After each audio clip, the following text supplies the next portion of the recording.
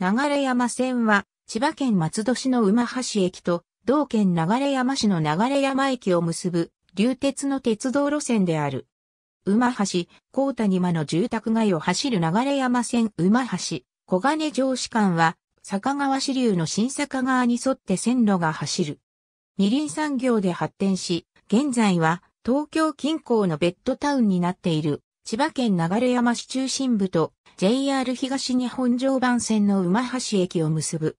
接続する JR 常磐線の複々線区間とは対照的に2両編成の電車列車が走行する郊外の単線鉄道である。沿線は1970年代頃までは雑木林や農地などが広がっていたが、その後は沿線の宅地化が進み、東京への通勤の利用が増加した。以前の路線名は、総武流山線であったが、もっぱら、流山線を使用していた。これは、総武流山電鉄が経営する路線という意味でも使用していた。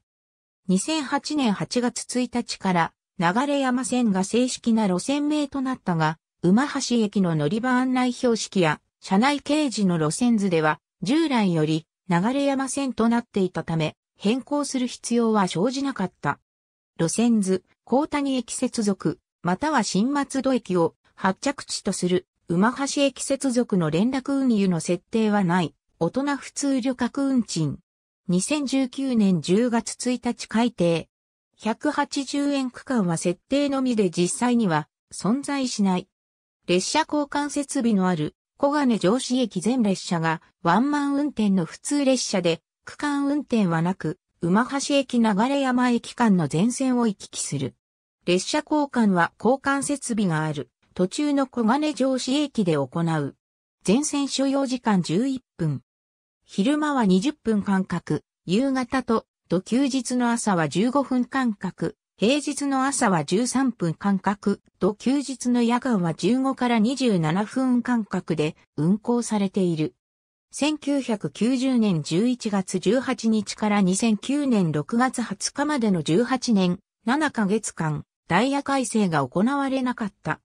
この間、接続する JR 東日本をはじめ、日本の多くの事業者が、いわゆる週休2日制に伴い土曜日を休日ダイヤで運転するようになったが、本路線では土曜日も平日ダイヤでの運転を行っていた。2009年6月21日のダイヤ改正で、昼間時間帯のワンマン運転開始と終日にわたる運転間隔の均等化を実施した。その7ヶ月後の2010年1月23日には、始発列車の繰り上げと最終列車の繰り下げ、夜間帯の増発と終日ワンマン運転の実施と、ともに土曜日を休日ダイヤに変更するダイヤ改正を実施した。つくばエクスプレスの列車流れ山線沿線は、日本の他の公共交通機関の例に漏れず、少子高齢化の影響が現れており、1993年度をピークに収益、乗車数とも減少傾向が続いている。また、1973年の国鉄武蔵野線開業を皮切りに1986年の新京成電鉄バス路線、高田線の開業、2005年の首都圏、新都市鉄道つくばエクスプレスの開業など、競合交通機関の登場が相次ぎ、ただでさえ限られた規模の沿線地域から旅客を奪われる状況となっている。特に TX 開業による打撃は大きく、2005年度の年間乗車人員が前年度2004年度に比べて約16%も減少。特に流山駅では1日の利用客が50%近く減少した。流山駅は TX の流山セントラルパーク駅と約 1.3km、比ヶ崎駅に至っては JRTX の南流山駅と約 0.9km しか離れておらず、相当数の沿線在住者が東京都内へ乗り換えの必要がない TX に流出したとみられる。このため流鉄では2005年度末から2両編成の車両をワンマン対応に改造するなどの工事を行い、ワンマン運転化を進めた。ただし、ワンマン化には経費が約1500万円かかるといい、中期的な合理化であるとしている。2006年5月17日から比較的乗客の少ない昼間に限り一部列車でワンマン習熟訓練を実施し、2009年6月21日のダイヤ改正より昼間時の列車をワンマン化、2010年1月23日にはワンマン運転完全実施となった。このほか、柏市に流鉄の不動産を売却して、鉄道事業の損失を補うなどの対策をとっている。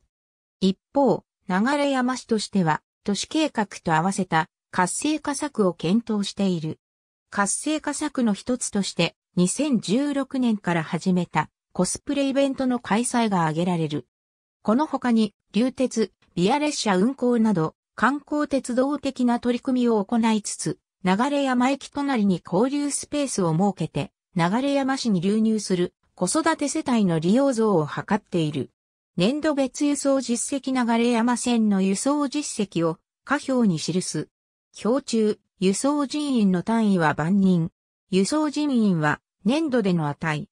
表中、最高値を赤色で、最高値を記録した年度以降の最低値を青色で、最高値を記録した年度以前の最低値を緑色で表記している。鉄道統計年報より抜粋年度別営業成績流れ山線の営業成績を下表に記す。表中、収入の単位は1000円。数値は年度での値。表中、最高値を赤色で、最高値を記録した年度以降の最低値を青色で、最高値を記録した年度以前の最低値を緑色で表記している。鉄道統計年報より抜粋最混雑区間は、小金上司駅、高谷駅日本鉄道土浦線、田畑土浦間、開業1896年12月25日、日本鉄道土浦線、田畑土浦間が開通し、松戸駅が新設された。それに伴い、流山町の人々も松戸駅まで約2時間徒歩で向かい、鉄道を利用した。和線や蒸気線では東京両国まで数時間かかり、また1から2時間の遅延が頻発したが、それに比べて鉄道は40から50分で済み、時間も正確であった。1898年には、馬橋駅が開業し、流山から徒歩1時間半で鉄道を利用できるようになる。その後、1911年になると、北小金駅が開業し、流山から鉄道駅まで徒歩1時間になり、流山の人々の喜びはひとしおであった。このような交通事情の変化のもと、流山町にも鉄道という機運が湧き上がってきた。鉄道不設免許申請と流山軽便鉄道株式会社設立鉄道不設免許申請1912年秋元平八ら31名の商工人が発起人となり、鉄道建設の行動を起こし、流山の人々の多くが賛成した。そして、同年9月17日に、鉄道不設免許申請を提出し、1913年7月1日付で認可された。1912年の申請時の資本金は5万5千円であったが、行政側からの命令により、資本金を7万円に増資して免許を取得する。流山軽便鉄道株式会社設立1913年11月7日、流山軽便鉄道株式会社設立。同日、流山町で会社の創立総会を開催し、鈴木六郎が初代社長につき、同年11月20日に東京地方裁判所において会社登記を行う。会社の本社は当初は東京市神田連雀町18番地にあり、鉄道建設申請の受付窓口は東京府庁にあった5月、流山に移転。資本金は7万円で株主数は116人であった。会社創立時の役員は以下の通り。このような経営陣で会社を運営し、鉄道用地の買収を開始する。株による資金調達の状況は流山駅前にある商店店主の話によると以下のようなものであった。このあたりの商店もみんなで株を買ったものです。本鉄道は役員、社員に地元住民が多く、流山町長が取締役に就任していたことなどから、町民のための鉄道ということで、町民鉄道と呼ばれていた。この時の出資者が一株株主に至るまで、流山居住の人々であったことから、町民鉄道の名称が東鉄道の代名詞のように使われるようになったが、利益の見込めない地方鉄道にいた地域の人々が出資することは稀であるため、祭りの寄付金のような一種の地域分担金として、流山の住民が所得に応じて株を購入し、出資に応じたのである。鉄道用地買収から軽便鉄道開業まで用地買収と建設費1914年の前半までに鉄道用地買収は完了した。買収した総面積は4兆4単2世11歩。買収費用は11,880円38銭6輪。建設費は8274円92銭であった。同年3月には工事認可が出て、会社は工事を開始する。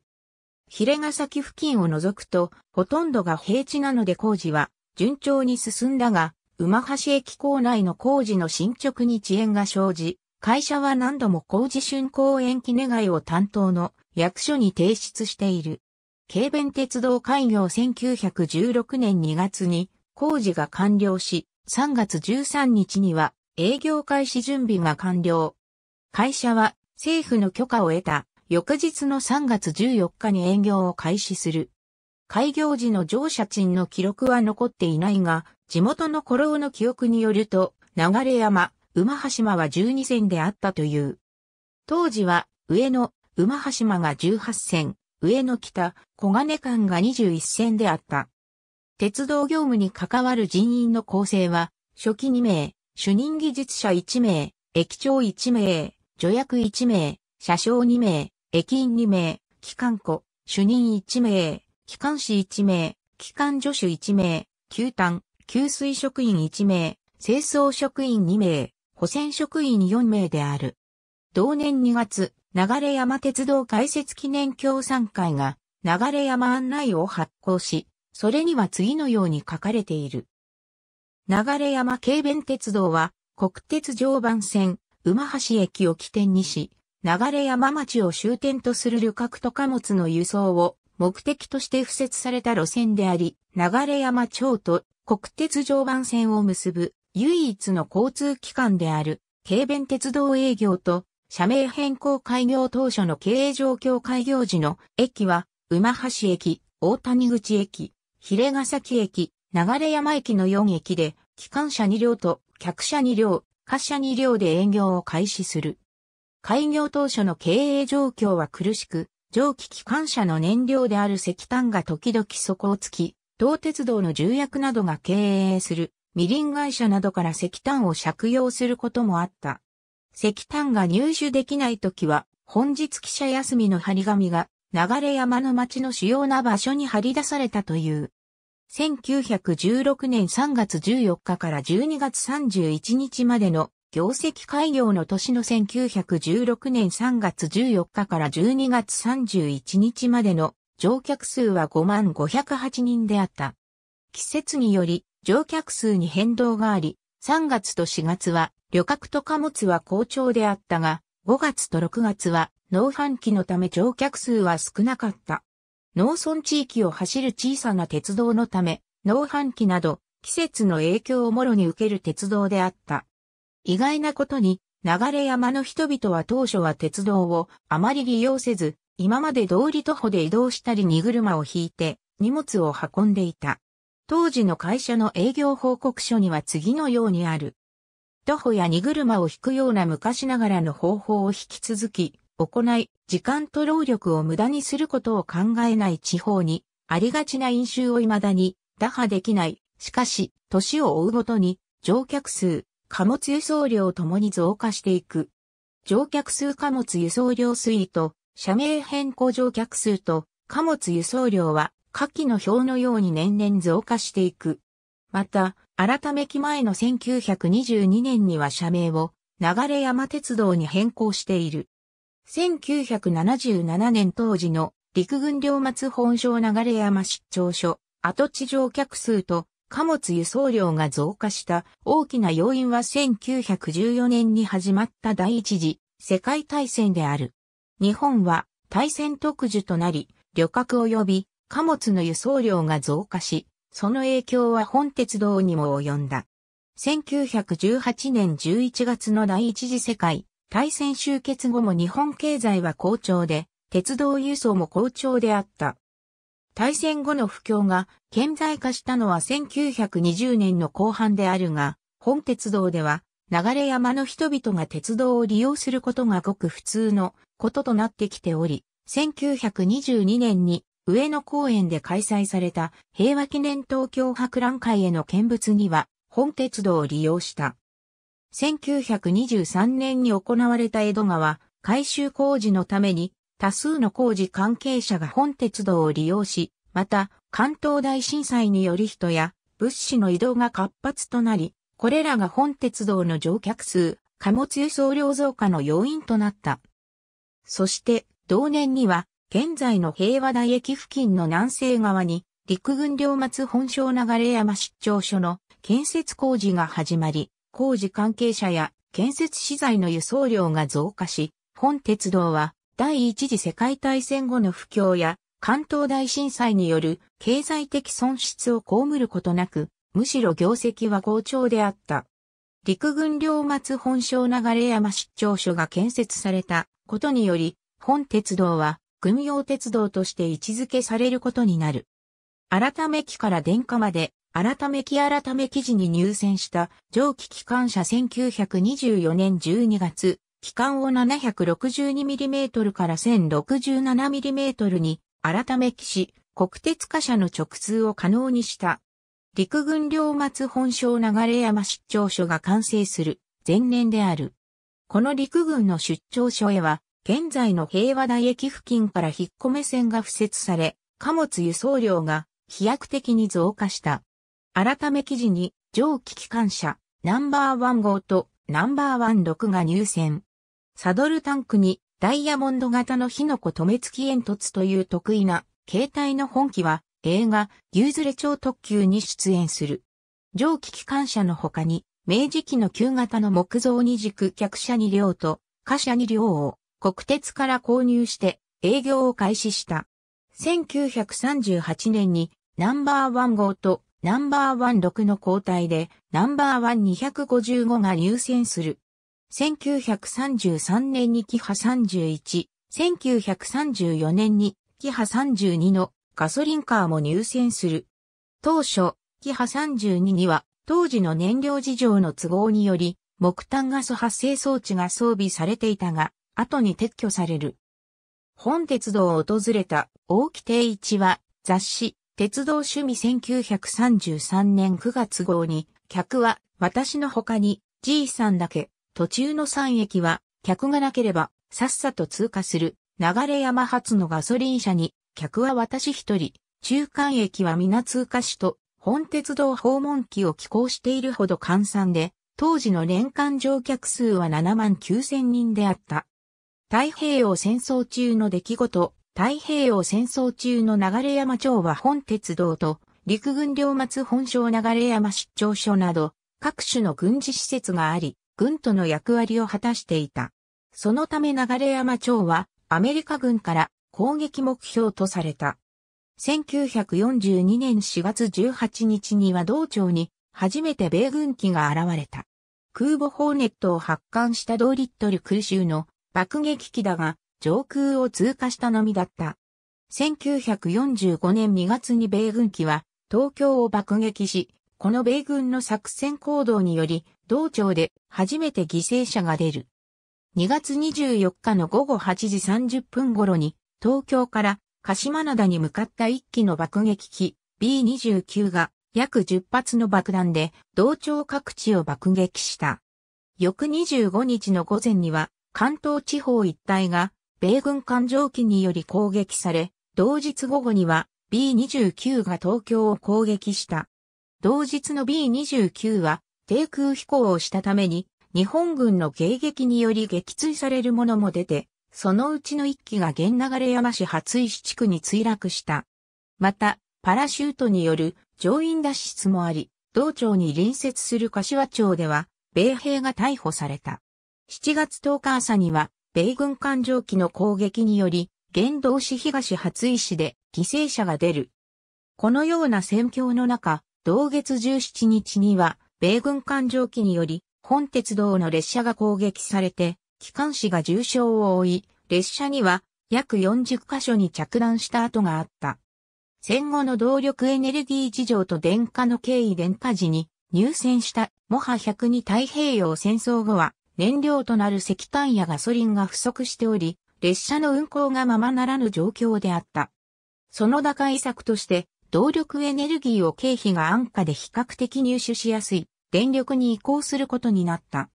1949年12月に電化が完了し、国鉄から直流 1500V の電力を購入し、電車産業で運行を開始する。国鉄常磐線は同年6月1日に松戸取出間が電化済み。電化に際しては1947年に高専で初めて流山町長になった中村博次が電化のための活動を開始する。5.7km の営業路線で変電所を建設したのでは採算に合わないため、常磐線、松戸取出間が電化されたら、その電力を融通してもらうために早くから参議院、議員、小野明に陳情し、当時の運輸省の上層部に働きかけてもらい、部長級官僚への働きかけは、千葉県選出の参議院議員、山崎渡に行ってもらった結果、国鉄から電力を供給してもらえることになった。日本の電化施鉄の中で変電所を持たない電化施鉄は本鉄道だけであった。電車研修場改築電車庫は1949年12月26日の電化運転合わせて建設し、1978年10月26日に、検車庫構内の土留め工事を施行。1979年12月に、検車庫内にピットを新設。そして1981年12月16日に、検車庫を改築する。輸送量の推移1946年の乗降客数は前年とほぼ同じで、100万人台を維持したが、翌年から減少が続いた。しかし1951年には110万人台まで回復し、以後乗降客数は伸び続ける。貨物輸送量は太平洋戦争敗戦後から減少し始めたが、1950年の朝鮮戦争の影響により、軍需物資の需要が増加したため朝鮮戦争前年には増加に転じる。貨物輸送量は次のように推移していく。1945年約8万7千トン、1946年約6万トン、1947年約3万7千トン。朝鮮戦争前年の1949年は約5万6千トンまで一時的に増加するが、朝鮮戦争が停戦になると再び減少していき、1955年には3万7千トン台になる。乗客数増加と社名変更乗客数増加と社名変更写真右手前は造成されて、さら地下。2004年時点では、舗装道路。列車は馬橋航空派52も派線一電化後の1951年11月28日、社名を流山電気鉄道と解消。当時の年間乗客数は119万6千人。1962年度は200万人超。1966年度には313万9千人。これは本鉄道沿線の宅地開発が行われたためである。1974年には400万人台にまで増加するが、翌年は約364万まで減少する。同年の乗客数減少の一因には、流山市立比ヶ崎小学校の開校により、流山線を通学に利用していた小学生の減少がある。しかし1976年には400万人台まで回復した。貨物輸送量の減少貨物輸送量は減少を続け、1960年約2万5千トン、1961年約2万3千トン、1965年は1万トン台、1966年には5千トン台まで減少する。貨物輸送量減少の原因は、道路網の整備によるトラック輸送への転換である。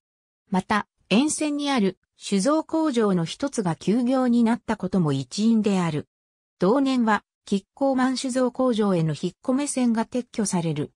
この引っ込め線は1929年に流山駅から堀切家が経営する工場まで付設されたもので、原料と製品の輸送に使用された。国鉄武蔵野線の建設が始まると、その建設資材輸送に流山線が使用され、貨物輸送量は多少増加し、1968年約9900トン、1971年約3万7000トン、1972年約3万6000トンになる。しかし、武蔵野線が完成すると、貨物輸送量は激減し、1973年には約1600トン、1975年は約940トンとなった。そして1976年度を最後に貨物輸送を廃止する。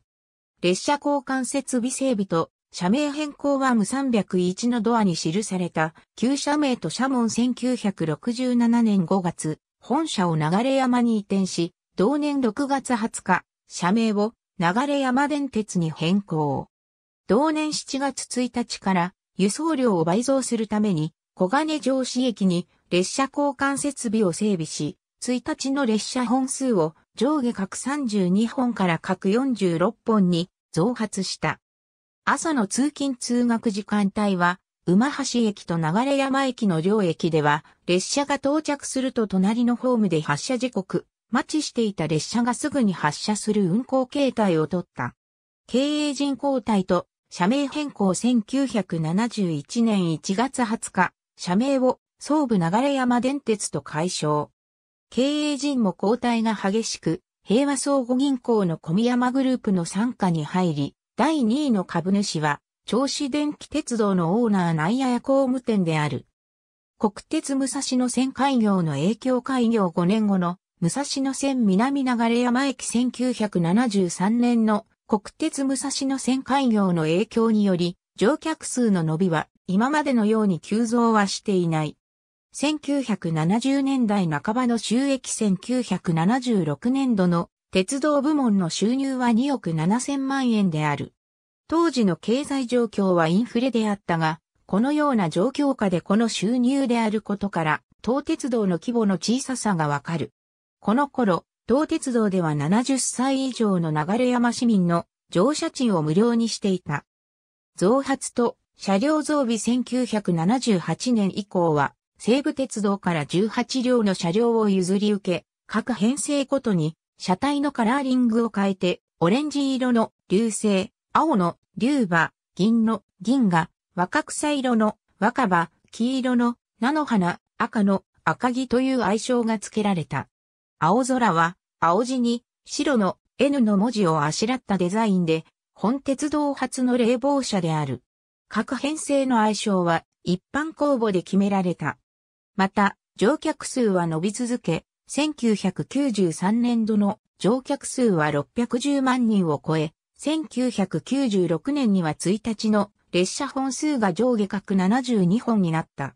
変電所建設輸送量の増加に対応して、本鉄道は千葉県流山市平ヶ崎に西平井変電所を建設。社名変更2008年8月1日、本鉄道は社名を流鉄に路線名を流山線に変更した。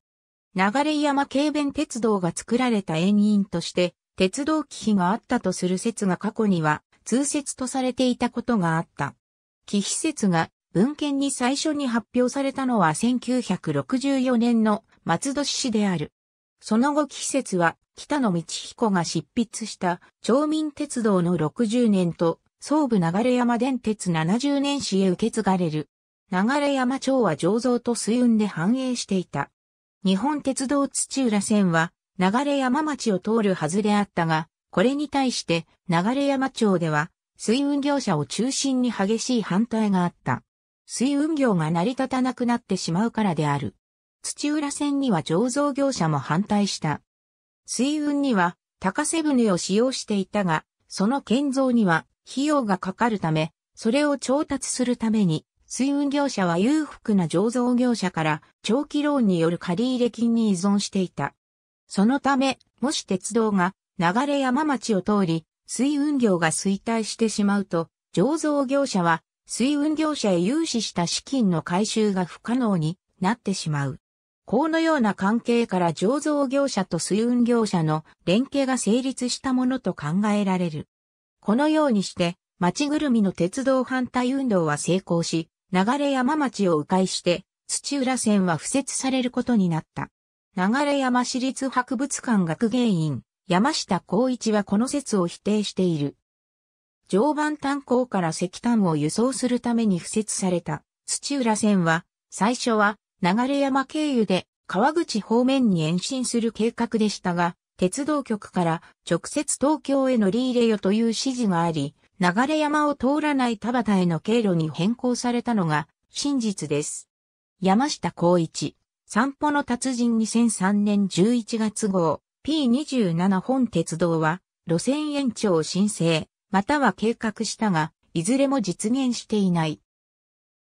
森口茂之著、鉄道未成線を歩く国鉄編によれば江戸川に沿って市川松戸流山の打席宿境、三は青山に計画された総野線構想が存在し、実現した暁には流山線は国鉄に買収される計画だった。を参考文献とする種類問屋秋元鉄道、建設発起人には秋元平八、中村権次郎、鈴木金左衛門、村松喜太郎、秋元三左衛門、堀切門次郎などの流山の名士が名を連ねたが、中心となって活動したのが秋元平八である。平八は1869年に流山で生まれ、現在の早稲田大学を出た。平八という名前は代々の襲名である。平八の家は秋元家の分家であるが、本家の秋元三左衛門と共にみりん、あっぱれの醸造を手掛け、他に醤油も製造していた。平八は家業にはあまり熱心とは言えず、新し物好きな風流人であったらしい。流山では1900年頃に自転車が流行り出したが、平八は自転車に夢中になり、自転車を趣味とする人たちの親睦会、あけぼの林友会が発足した際、その会長の座についた。そしてツーリングに出かけたり、各地のロードレースに参加した。また、馬場山の一部を切り開いて自転車競技場を建設し、自転車レースも主催した。こうした指導力を持っていたことに起因して、平八が鉄道建設運動の指導者に押されたものと考えられる。また、平八は俳句も趣味とし、射程という配合を持っていた。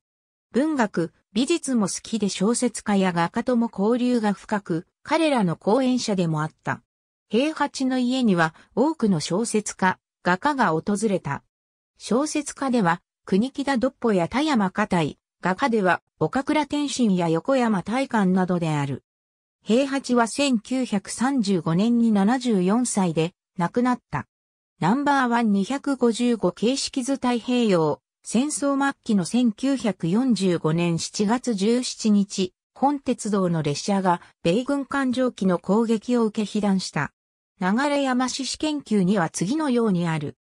昼過ぎに馬橋を出て流山へ向かった列車で当時の大谷口駅を過ぎたところで遭難した。機関士が左腕に重傷を負った伊藤明、証言で綴る流山と空襲、流山市市研究総監号、1983年、また以下のような列車の乗客及び乗員の証言がある。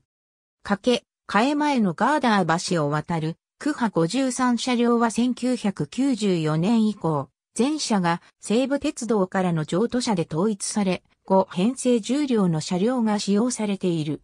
各編成ごとに異なる愛称が付けられ、異なる図色が施されている。桜、流星、若葉、赤木、菜の花は全車両が2両編成であり、ワンマン運転開始に伴い行き先表示器が幕式から LED 式に換装されているほか、ドア開閉チャイムと案内放送、自動の車内アナウンス装置が取り付けられている。なお愛称ごとの車体色は、車両が代替わりしても一貫しており、歴代愛称ごとの車体色は、竜馬イコール水色、流星イコール橙色、赤木イコールエンジ色、菜の花イコール黄色、明星イコール柿色、若葉イコール黄緑色、青空イコール紺色、銀河イコール銀色、桜イコールピンクとなっている。5000系2009年に西部から譲渡された元新101系で、雲波5000系雲波5100系の2両編成。2010年1月20日より、竜馬、2011年3月11日より、流星、2012年3月14日より、赤木、2012年12月3日より、若葉、2013年12月6日より、菜の花が、それぞれ営業を開始した。西部時代に種別幕だった表示機には、ワンマンと表示している。なお、竜馬は2018年8月23日より塗装が変更され、桜となった。流星は2021年1月21日から車体塗装や釣り革の色を変更して運行している。2000系1994年導入。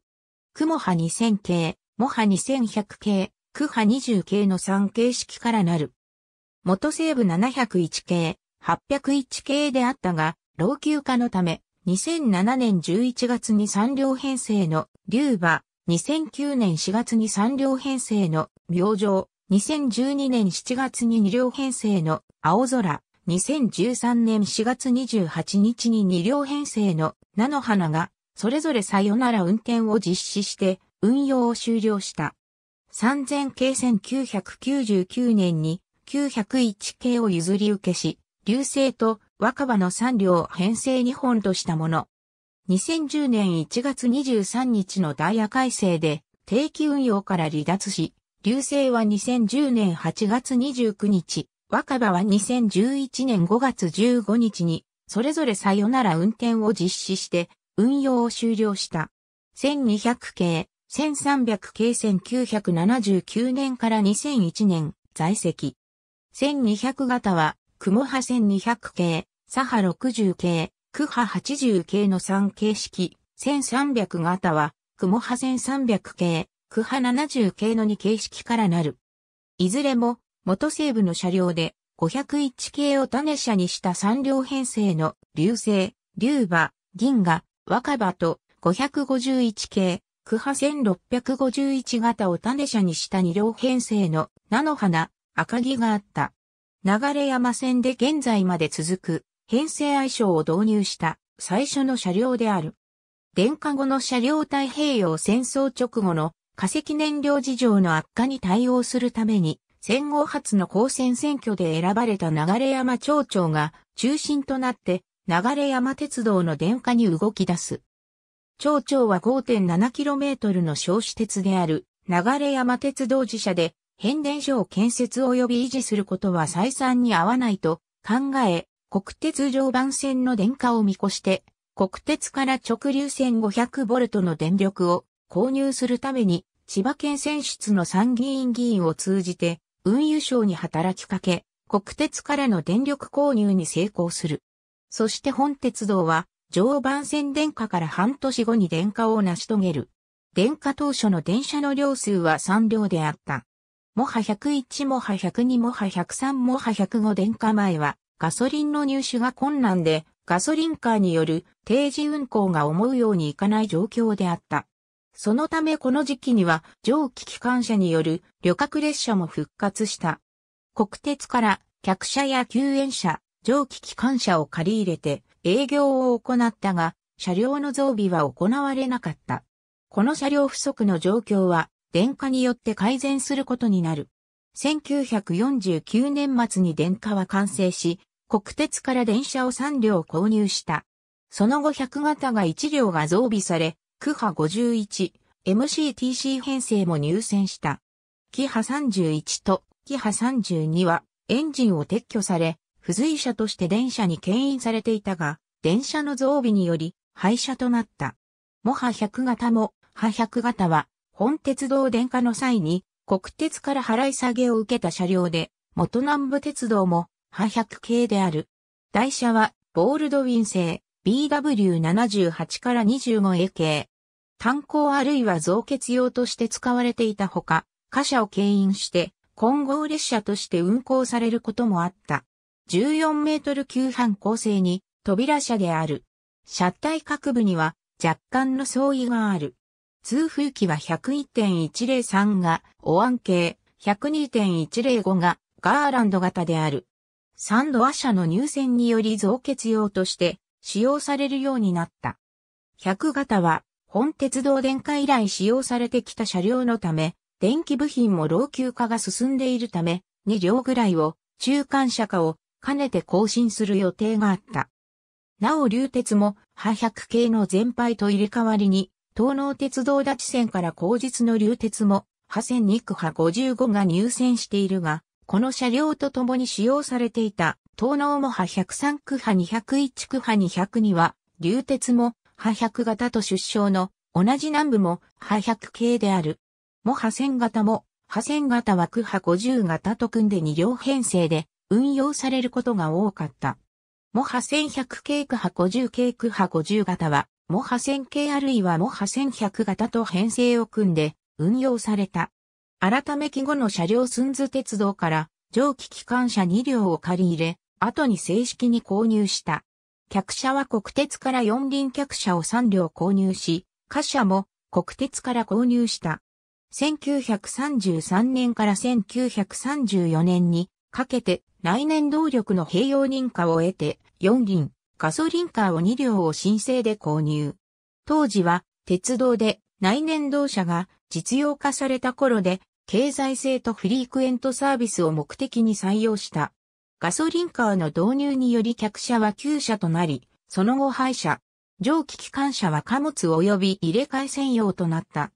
1938年には国鉄から蒸気機関車を購入し、ノー15とナンバーワン6を廃車にした。蒸気機関車蒸気機関車は、本鉄道所有機が4両、国鉄からの借用機が1両在籍していた。ディーゼル機関車、ディーゼル機関車は、馬橋駅での貨車入れ替え用機と1両在籍していた。バッテリー機関車、ガソリンカーガソリンカーは2両在籍していたが、2両とも後に動力装置を外され、客車として使用された後で廃車となった。流山市総合運動公園に生態保存されている。1933年から1949年に走っていたガソリンカーキハ31系客車サハ32、2台付け、廃車後のサハ31車体、2台なし、色あせた、廃車後のサハ31車体客車は、本鉄道所有者が5両、国鉄からの借用車が4両在籍していた。貨車貨車は、本鉄道で、有害車と無害車を保有していた。補線車両等補線車両等には、キャブ付けタンク車、トロッコ、車両整備時に使用する台車などがある。軽便鉄道時代の車両流れ山市立博物館に写真が展示されている。